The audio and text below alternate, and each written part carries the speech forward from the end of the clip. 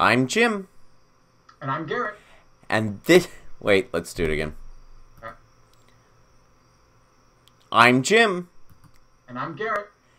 And this is Jim and Garrett at the Garrett movies. All right, well, a little off there, but this, welcome to Jim and Garrett at the movies. We are talking today about Richard Linklater films. This will be like this will bring the grand total of Richard Linklater films that we have reviewed up to three, which I think is more than any other director. Bit surprising there, but we'll be talking about Where Do You Go, Bernadette, uh, and 2014's Boyhood, as well as discussing the latest news from the Marvel Cinematic Universe.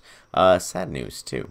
So let's start with Where Do You Go, Bernadette. We're going to uh, talk about so uh, this is a film that stars Cate Blanchett, Judy Greer, Billy Crudup, Laurence Fishburne, Megan Mullally, Steve Zahn, and introducing Emma Nelson. Now this is tells the story of essentially I don't actually want to tell you what story it is because the best way to talk about this movie is to tell you to forget everything you've seen in the marketing everything you've seen about the plot, and even the title. I don't know what title Where You Go Bernadette belongs to, but it's not this movie. Instead, think of this film as a really complex and I think rather interesting and compelling family drama. Now, this is a, a film that eventually I'm going to be recommending, but I'm also going to be talking a lot of shit about. What about you, Garrett? I think that uh, I agree broadly with what you're saying. Uh, yeah, I, I was very taken aback by how misleading the trailers were and the marketing was, and yeah, the, the, the title itself. I was expecting there to be a first act, and then uh, when, once we hit the second act turn, maybe 25 minutes in, Cate Blanchett would disappear, and then we'd see a series of flashbacks or something along those lines, and we try to piece together where she went.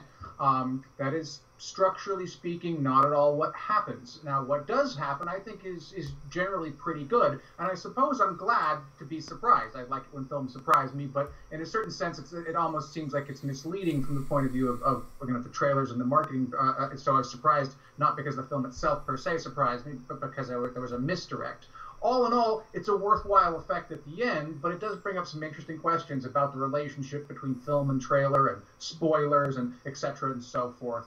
Uh, so, like you, I, I, I, am going to recommend it. I think it's a, a good film, um, uh, but it also is in some ways a curious and a strange film, both on its own merits and for a Richard Linklater film. Right. So I'm going to agree with part of that. I think this does sort of fit into Richard Linklater's corpus, corpus which I'm going to talk about in a little bit. But let's kind of.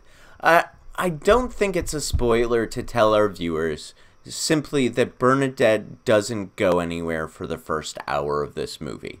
So the idea that this is a mystery, it's not. The idea that it's uh, any sort of um, that that there's a whodunit or anything like that, it's not. It's none of those things. In fact, so that's and structurally, this film is a bit of a mess. It really is. Like there is uh a weird discernible maybe first act. There's some exposition that is kind of shoehorned into multiple acts of this movie and that exposition is doesn't necessarily lead to a lot. Um, there's some dropped plot threads or dangling pr- plot threads don't want to mix my metaphors and it, there's uh, there's a lot of messy structural issues with this film. But at the so I, will give you a chance to sort of comment on that stuff, and then and then I'll tell you why in the end I'm recommending it. Yeah, I, I, I, maybe I want to work from the other direction. I, I generally like to start with the things that I like about the films before I criticize them. Um, so uh, I'll, I'll, I want to praise it before I bury it, as as it were. Um, I, I, think Cate Blanchett is absolutely fantastic. Agreed. Film. Her performance is incredibly layered and nuanced. The character uh, that she is portraying is, is very rich, uh, very well written. Uh, I, I, have not read the novel that it's based on, so I'm not sure how much of the credit to that goes uh, to, the, to, the, novelist Maria Semple and how much of that goes to the, the, the screenwriters. Um, but uh, but I really found this character interesting, uh, uh, nuanced and detailed, and lots of different perspectives. Oftentimes, I thought I had her number, and I thought I was going to anticipate what she was going to do in response to a particular circumstance and she didn't. She responded in a way that was much more, as it were, humanistic rather than as a character. You know, when you when you when you write a character, you think you, you that, that, that, sort of the character then dictates the action, and you can sort of get your head around it. But in real life, of course, human beings often are more complicated than that. They, they, they, they have different moods and different attitudes, and you catch them in a different day, different time. They're going to react differently necessarily than you anticipate. And I think that, that the character Bernadette Fox uh, uh, shows that, that, that, that complexity and that uh, and that, that the difficulty of really getting to know a person and understand it. And that fits so perfectly with the theme of the film, which of course is precisely that the family can't really get a hold on her. Um, you, you, mentioned the title, Where'd You Go, Bernadette? I think actually, again, the marketing makes it seem like it's a disappearance. And uh, But in fact, what it is, it, it, it's not so much a disappearance so much as, as she sort of gets lost in herself. Uh, right. You know, she, she, she's uh, you know used to be this hotshot architect and she's sort of lost her purpose and lost her direction. So the where'd you go actually refers sort of more to the existential direction of her life rather than the location of her person.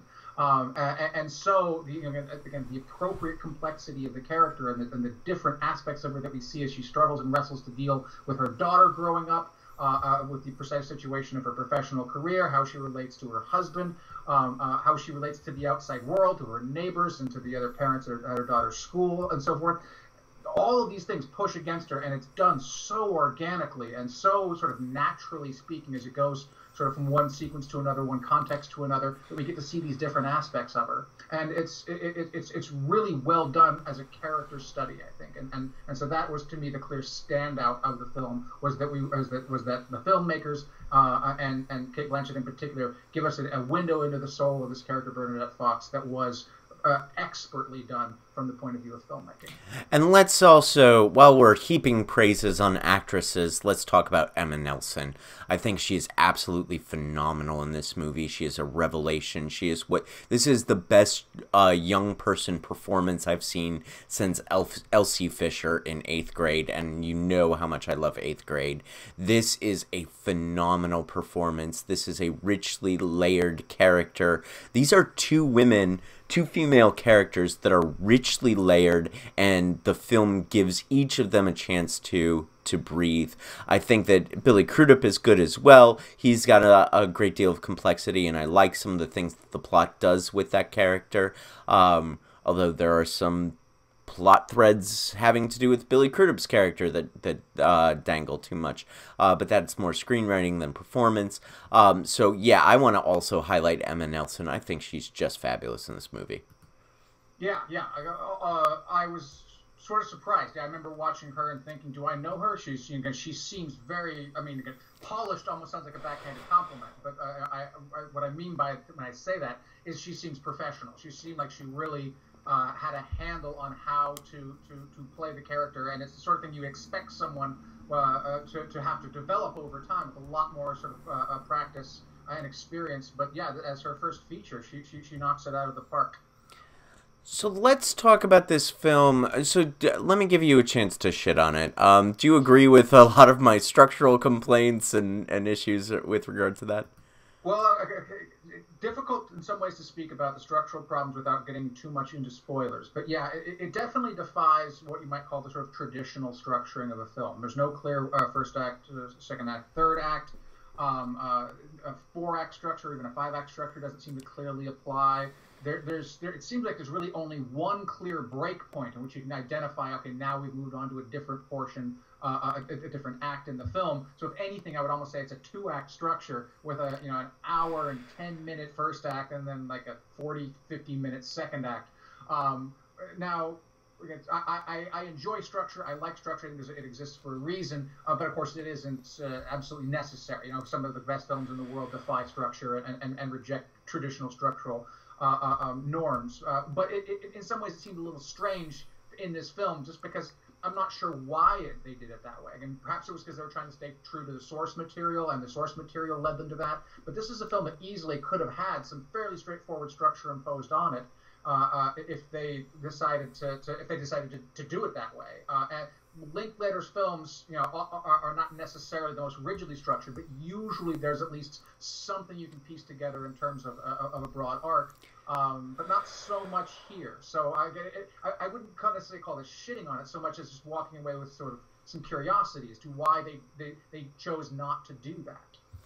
Yeah, I think that's a fair point. Um, and I also, but I, I do consider, I, I think that you kind of you alluded to what I think is the problem, and I think that this is a rich and textured, wonderful book that I haven't read, and they were trying to get all of that richness and texture into the movie, and it just became so stuffed that they forgot to that they didn't didn't uh, tie a lot of a lot of things together, and that it was. Um, you know structurally messy. Uh, so now let's I but I want to transition. I this movie has a ton of heart. This movie is just it's it's got so much heart and it's so difficult for me to like a film that is so sincere and so humanistic. Um, I find this film to be I'm I am incredibly drawn to stories like this and to films like this, and I think this film is just it's it's a lovely world to be in, and it's a richly textured world to be in. And uh, that said, there's certainly criticisms about the world that I think are traditionally Linklater. Uh, one of the things that I is sort of unlocks all of Richard Linklater's uh, work to me is that almost all of his films are uh, in some way against the establishment, the individual against the establishment. You have some characters who represent establishment, uh, the establishment, and those characters are ultimately made to be villains. And this is most obvious in Fast Food Nation, um, but it, I think it applies to his his broader work as well. Both the, both of the films that we're going to be talking about today. And so this is a story about a woman who gets lost, uh, get, gets. Um, lo- uh, finds her her her wanders away from her individuality, wanders away from what makes her her, and in some ca- in a larger sense, a suburban establishment uh, definition of life and happiness is imposed upon her, and that establishment life and happiness is something that she cannot that she's desperately trying to navigate because she knows that that's what what is expected of her and yet she cannot do it. And i find that personally compelling and uh, in a way just originally rendered. I i i was expecting this kind of uh, thesis from Linklater and I think he told it in a new and creative and different way in this movie, and uh, that's why I, with all of its flaws, I'm gonna end up recommending it. So, um, you think this is a very, very Linklater-ish film, uh, uh and you use the word heart, and in that sense, yes, I agree. A lot of Linklater's films have a, a tremendous amount of heart. There's a lot of earnestness in his his oeuvre. Um, and, and, that is the case. But I want to point to some things which struck me. Again, if you hadn't told me this was a Linklater film, I wouldn't have known. Because uh, here are things that this film has, uh, or this is what differentiates this film from most of Linklater's films. For one thing, this is almost entirely uh, a, a, cast of women, and that's that's awesome and that's fantastic. It's wonderful. Like, you know, I, I, you know, there's obviously issues regarding uh, women in Hollywood, and I, it's good to see so many women put, uh, put front and center uh, in a film. But almost all of Linklater's other films are, are from a male perspective. I mean, you know, we're talking about Boyhood being an obvious example. But you go back, you know, you look at School of Rock, you look at Waking Life, you look at Dazed and Confused. You know, there are female characters in these films, and, and they're important. And you know, I think they're generally at least pretty pretty fleshed out and pretty three dimensional. But the perspective is almost always told from a, a, a male point of view. So that's that, that that's a difference here. And, and again, good for Linklater. He's trying to go for a different different perspective there another thing is that almost all of his films, music is so important. Music plays such a key role in Richard Linklater's films, and there's almost no music in this film. There's precisely one song uh, that the, that mom and daughter sing to each other that matters, but uh, there, there's there's no real sort of soundtrack. There's a score, Um, uh, but but there, there, there's no you know, you know pop music, no rock music, or anything like that, which which is, is so key to so many of his other films. Um, so so it, it, it's different. I could go on, but I, I don't want to uh, go on for too much. But you, you get the idea. You know, uh, this did not feel to me like a Linklater film uh, uh, because of so many of those differences. I can see where you're coming from there. Um, I think stylistically, it's not. Uh, I I think we can agree that stylistically, it might not be a Linklater movie, um, as Linklater as you know other Linklater movies are. But uh, I think philosophically, it certainly fits within his his corpus. Um, and uh, yeah, I think the heart of this movie is what drew me to it the most. I mean, I I found this it was it was surprising how much I was able to ignore um, in in order to like this movie. And and at the end of the day, I'm glad I did. So um, I'm ready to close up. Are you? Um, yeah, I think I'm good. Okay, so what would you give it out of five? I give it four out of five. Four. Okay.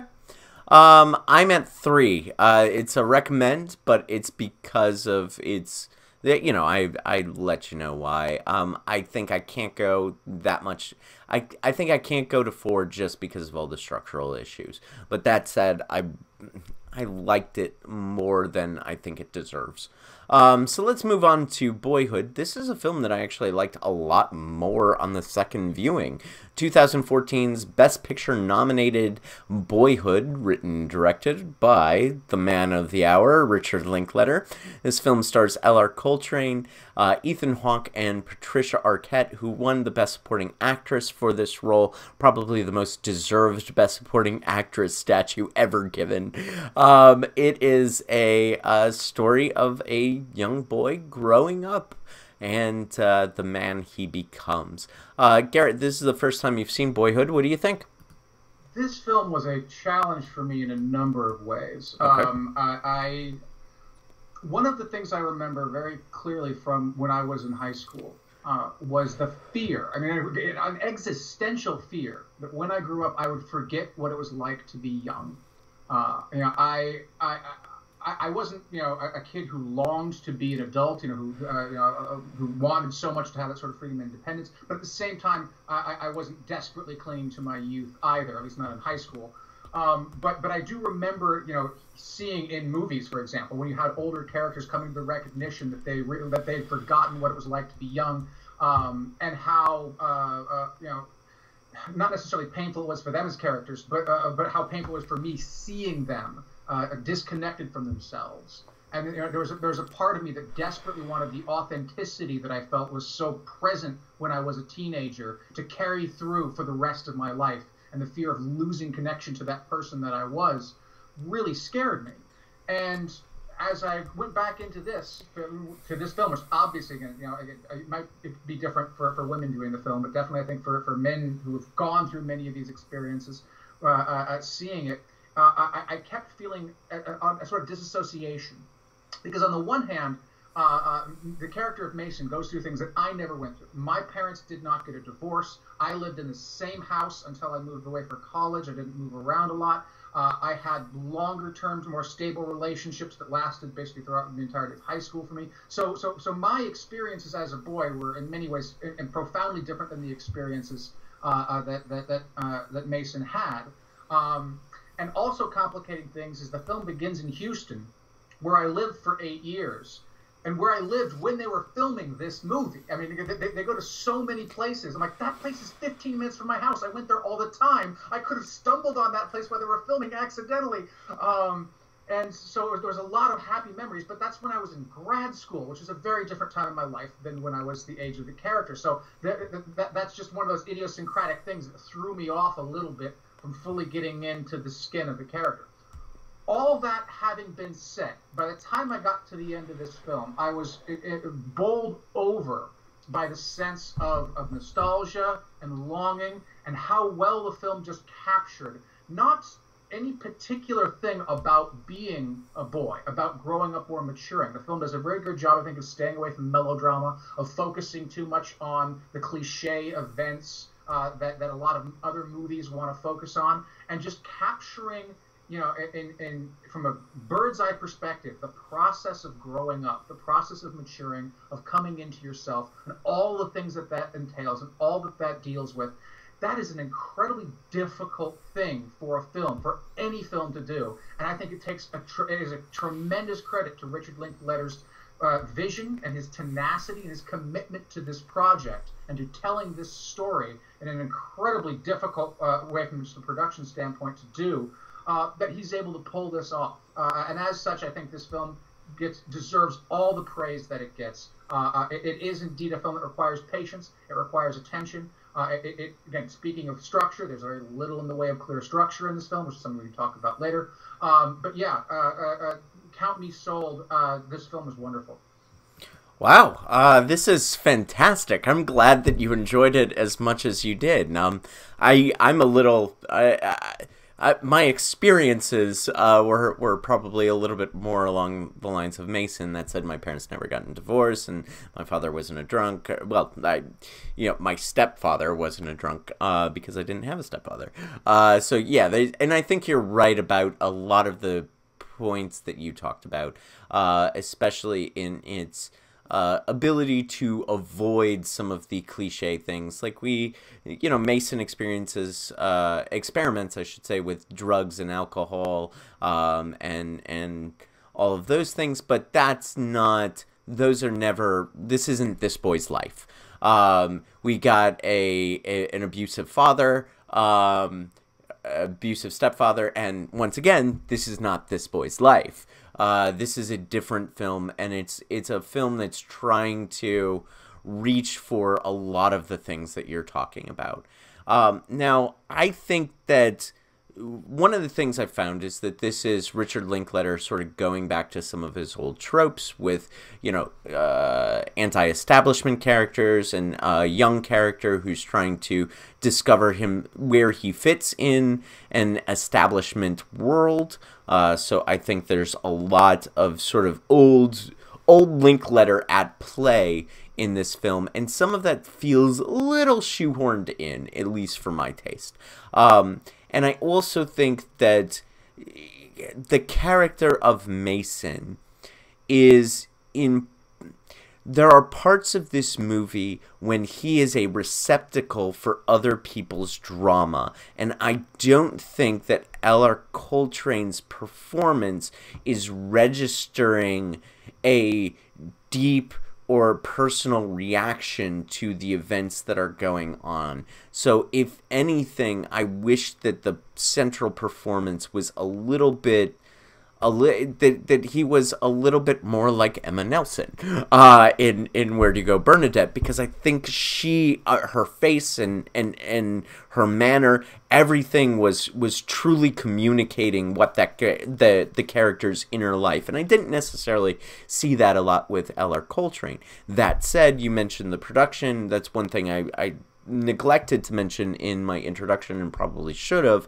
This is a film that was shot uh, like they over the course of um, I believe it was seven or eight years. Let me I'm gonna double check that real 12, 12 years. Yeah, yeah, yeah. Um, he was. Uh, I, I'm I'm doing this real quick. I know I I used to know that uh, off the top of my head, and of course, what I did is failed to look up the thing that I uh, that I used. So he was seven years old and 19 when it was finished. So you are right, Garrett. It is it is 12 years that he uh, that this film was in production, and so that's an incredible production feat and uh, it's you know it's almost unfair to blame Richard Linklater that he didn't cast a 12 year old that was better uh, a better actor when he was 19 uh, because I think that it was it's the later uh, years of of Mason's life where he really needs to register some of this stuff. I think specifically of the scene where it's Patricia Arquette's last scene in the movie and she talks about how and this is a brilliant monologue and she delivers it so powerfully how her life is just this series of milestones and then she traces all of the milestones that we've got to see her and then it switch it doesn't even it just cuts from her giving this really powerful and emotional monologue for from it cuts from her doing this to Mason putting the stuff in his uh, put it putting his stuff in his truck, and I almost wish that we had cut back to a single of Mason where he does something, reacts to something, because this is a profound moment for the woman who is the most important person in his life, and yet I wish that I would get to see something about Mason's response to this. And so that's why I say that he kind of works as a receptacle for other people's drama rather than a participatory character. I, I am not unsympathetic to that. Yeah, I agree. It was it was an excellent monologue and one again that resonates with me. I, I, I think about that series of milestones idea quite a lot. Um, and again, it's it's somewhat strange in some ways because, and, and I think this is a credit to the film, is that when, when we look back upon our lives, it's like that, that excellent Kierkegaard quote, right, about how life uh, can only be understood backwards, but it has to be lived forwards. When we look back upon our life, we impose structure on it. You know, we, we, we have these sort of defining moments that we think of, uh, you know, whether it be moving from one place to another, starting a new job, starting a new relationship, or whatever. But much of the time, as we're going forward, we don't really feel that those the, uh, those milestones are quite so transformative, you know. And so I, I think the film again lacks a clear structure um, in, in, in, traditional movie sense of it. You know, you, you don't get these focus on these turning points in their life. Um, uh, so to bring it back to your point, I, am not sure if this necessarily was intended, but I think what I took from it is the reason why there wasn't some big, profound, dramatic moment where where uh, Mason responds to, to his mother's grief is because that would have sort of fallen into a movie trope. It would that that would have been you know the the the, the, the moment that w- uh, would have been so so so powerful. But a, a lot, I think the point of the film is that these moments are daily. These moments of the texture of our daily lives. They're they're not the profound Oscar clips that you you see showing up. I mean, again, that, that like you said, that he experiments with drugs and alcohol, but that's never. There's never a drama about that. You know, that it, it's sort of it, it's clear that he's experimenting, he's learning, he's living, he's growing up, he's maturing, but it never becomes a crisis. You know, it never becomes he gets never gets arrested for it, never doesn't threaten to ruin his life or anything like that. That kind of intense melodrama that so often comes across in films. This film wants to avoid that.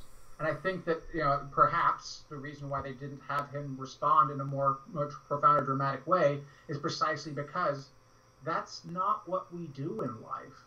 I mean, I mean, not not that we never do it, but that most of these moments in life, these daily, day-to-day moments, aren't that profound. I mean, they're profound in the sense that they make up the fabric of our lives, but they're not going to be on the Oscar clip when you know when we're in memoriam and we're, we're we pass on.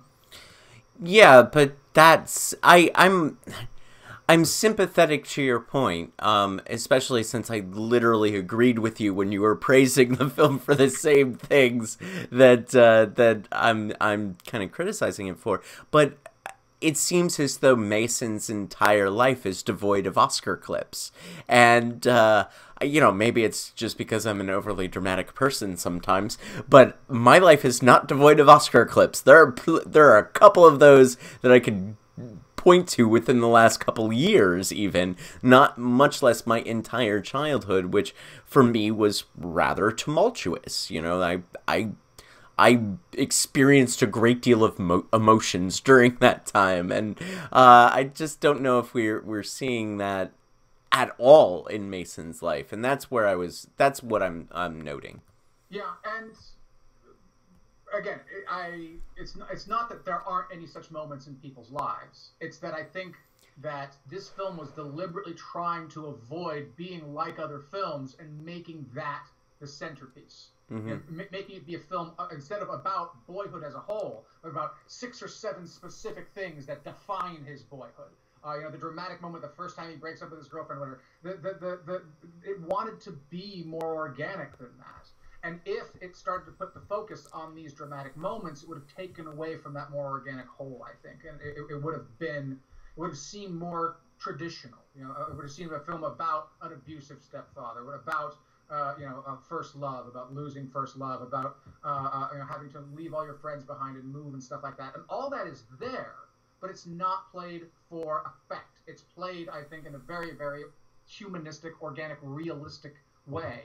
Um, and I think so. I think it avoids the temptation to play into that uh, that, that Oscar clip uh, movement. That's a fair. That's a fair counter. Um, yeah, I mean, and I think that also sort of speaks to the different ways that you and I uh, read movies. Um, let's talk about how great Ethan Hawke is in this film. Uh, we we gave uh, some kudos to Patricia Arquette, which I think is um, absolutely appropriate. But Ethan Hawke is fantastic in this movie as the kind of father who isn't always there, but when he's there, he's really there. And I thought that that was a, a really good dramatic choice on the part of Linklater, and I thought it was uh, carried forward very well by Ethan Hawke. Ethan Hawke, I think, has this this this incredibly powerful ability to always seem like he's just being Ethan Hawke, no matter how different the role is from what he, he he feels so natural in so many of his roles, and this is no exception. I think you know. if Ethan Hawke weren't a film star, if he were instead kind of a down on your luck guy who had a kid, I think this is almost exactly what he would be like. Uh, now, that's not necessarily a compliment to him as a person because yeah, the, the father has obvious moral shortcomings, uh, but at the same time, it is a compliment to him as an actor uh, that he uh, sort of so seamlessly just sort of walks into this role. And you know, again, it's worth remembering that you know he, he he's coming on, he's acting for a couple of weeks, and then he's off this role for a couple of years, and then he's back into the role. Um, that's an incredibly challenging thing to do for all of the actors in, uh, uh in this uh, uh, uh, this film and in, in, in, a film made in this way. Um, but for for Linklater, you know, again, for, for Ethan Hawke, it's it, it, it is almost like he's walking back into his son's life for the first time in the last year or two or whatever, and it, he's wanting to catch up with him, and it creates this sense of that we're wanting to catch up with him too, right? Yeah. That we haven't seen him in two years or, or whatever, however long it's been. Um, and yeah, you can't help but like him. Uh, um, but you also can't help but sort of feel that you know he's not necessarily the most positive influence. You contrast him with with, with, with uh, Mason's two separate step stepdads in the film. Uh, uh, both of whom are more disciplinarian. Both of whom are sort of more establishment, if you will. But at the same time, again, I'm not parent, I'm not a father, but I do understand that there, you know, you do at a certain point have to teach discipline, and you do have to, to teach responsibility. And uh, Ethan Hawke's character wasn't doing that, and so it's kind of in some ways unfairly fallen on the stepfathers to have to play that role. Well, I think it unfairly falls on his mother to play that role. I mean, she is a very stabilizing force within his life. She is someone who matures much faster than Ethan Hawke's character. And uh, she is somebody, I think, that, like you talked about how Linklater's films often focus on the men, and I think that's the case especially in Boyhood. I mean, it's clear that Mason is the protagonist of this movie, but uh, his mother is given a ton of time. Olivia is given a ton of time to breathe and to develop and to be a fully fleshed out character. So, if anything, I would say that Linklater has has matured as an artist over the course of his career and uh, has found the ability to uh, give women more interesting and nuanced and complex roles in his later later career. Um, did, go ahead. Ahead. I say I did find it. It, it, it was. Uh, it took a while, I think, to become Mason's movie. Uh, in, in, the beginning, for, for probably at least as long as they were in Houston, uh, I felt that the, the screen time and the focus was fairly evenly spread out between him, his sister, and his mother. Um, uh, we had a, a, it felt more like a family film, I think, at least until they, they, they left Houston. So, um, uh, but after that, I think it definitely we, we settled more into his perspective. So yeah, um, let's talk about. I mean, do you think that this? I, I proffered the thesis before that uh, Linklater's films kind of fall into these uh, establishment versus anti-establishment characters, and of course his heroes are always anti-establishment. Do you think this film falls into that as well?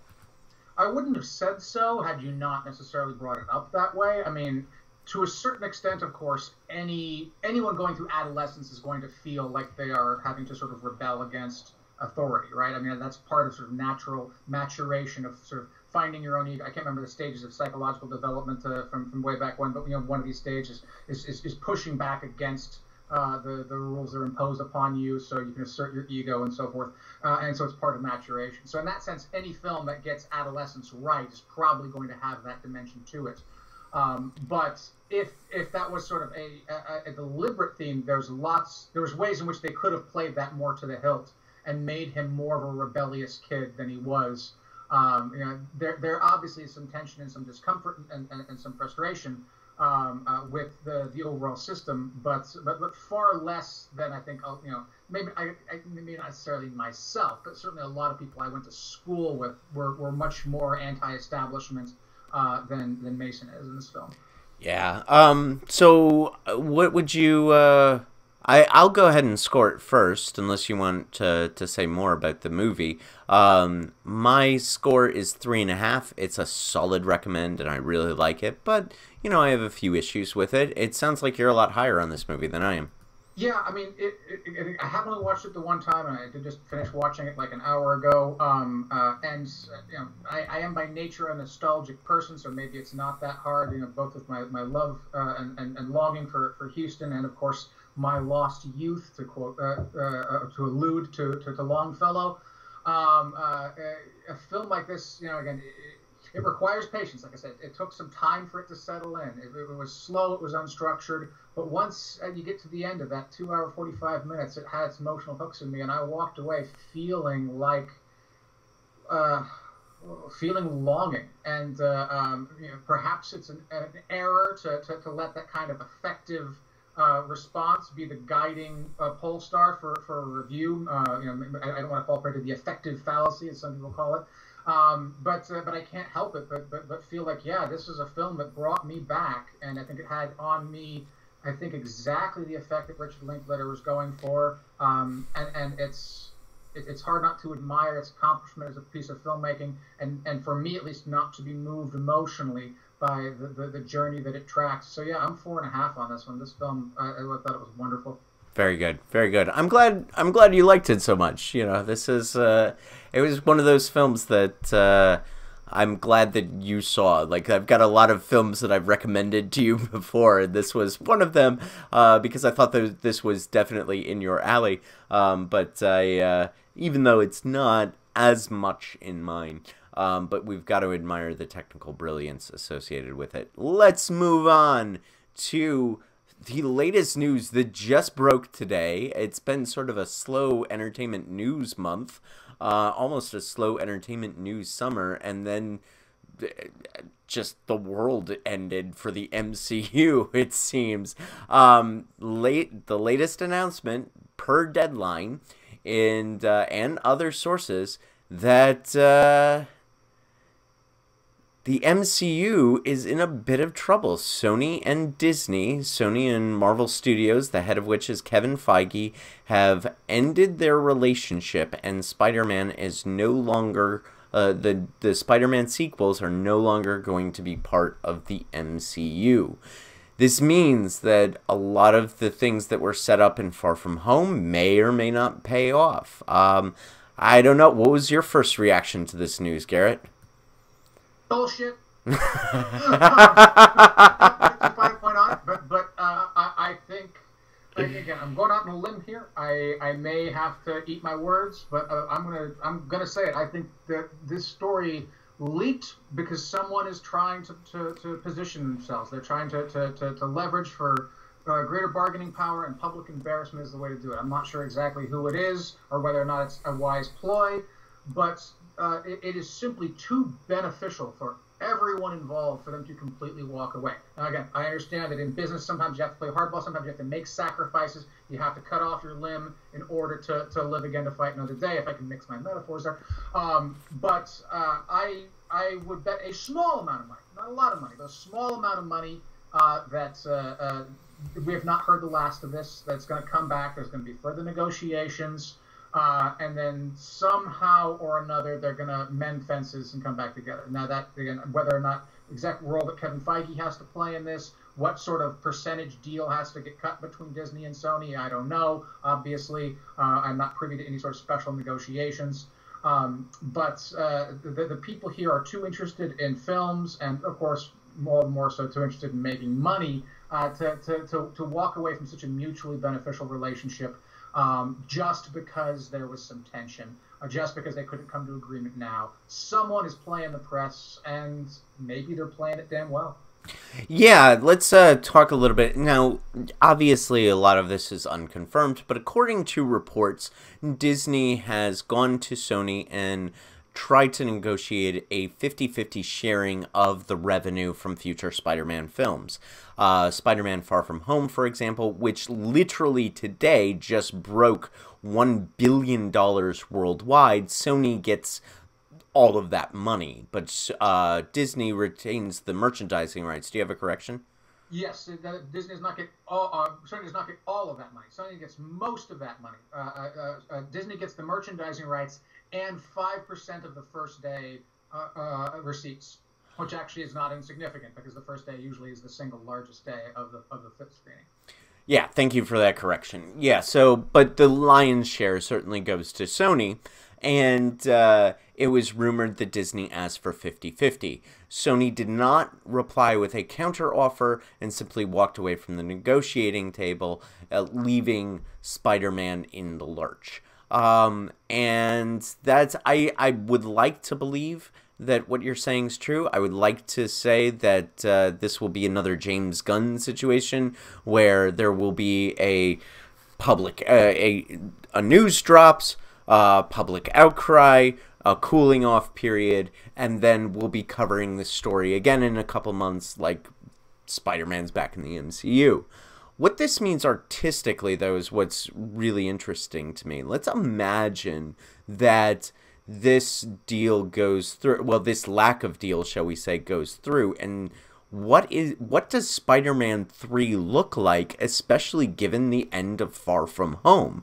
Far From Home was a movie that actually worked for me as opposed to Homecoming.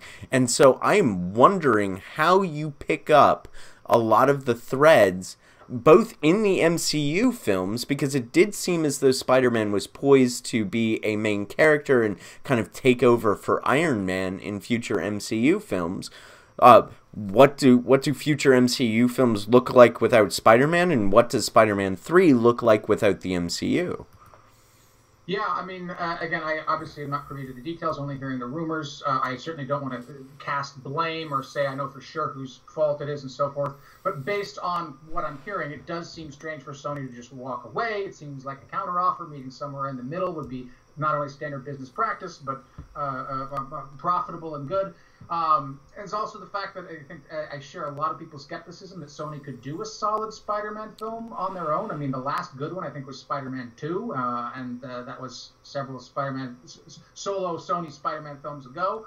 Um, so if they if they did have to go off and do their own, I don't know how solid it would be, how good it would be, especially since, as you mentioned, they would have to somehow retcon a lot of the material that they were clearly setting up for future uh, stories. So yeah, there would have to be some serious rewrites at whatever stage they're in for for, for, for conceptualizing, uh, blocking out, outlining, and screenwriting. Um, and the, the the awkwardness of that alone would hang over a, a film. So Sony, I think, has to realize that uh, they have a lot to lose here. Uh, uh they and as such, it seems like coming back to the table with some sort of compromise offer is seriously in their own best interests. They can't do this by themselves. Now, maybe 50 50 is too uh, uh, greedy on Disney's part. After all, it's not like they don't have enough of their own money making machines to, to, to, dominate and take over the world. Maybe let, let Sony have, uh, have something perhaps here. Um, but uh, uh, when you're battling for world domination, you can't go half measure. yeah, yeah. I mean, the mouse is, has has has definitely laid out their territory. So yeah, um, I think uh, I think that again the financial incentives, the artistic incentives, the public relations, the the, the long term prospects for future uh, franchise uh, uh, growth possibilities there, there's just way too much gravity that's going to pull both of them back to that table. Yeah, this is definitely as it is. This is a lose lose situation, and uh, I I hope you're right because uh, Spider-Man without uh, the MC the MCU without Spider-Man is a darker place, and Spider-Man without Disney uh, and Kevin Feige behind the reins. I mean, Spider Man 3, there's one tweet I saw that uh, I'm glad Sony is sticking with the tradition of fucking up Spider Man 3, um, which was a brilliant, brilliant take on this thing. Um, so, yeah, we, we shall see, and we'll continue to follow that story. So, uh, next week what are we doing next week except for Blinded by the Light, the movie that made zero money uh, the last weekend, but got really rave critical reviews. Will we like it just as much? We will be pairing that movie with uh, a 1991 film called The Commitments, a story about Irish soul singers. So be sure to join us next week where we discuss those films. Until then, I'm Jim. And I'm Garret. And this has been Jim and Garret at the movies. Good night, everybody.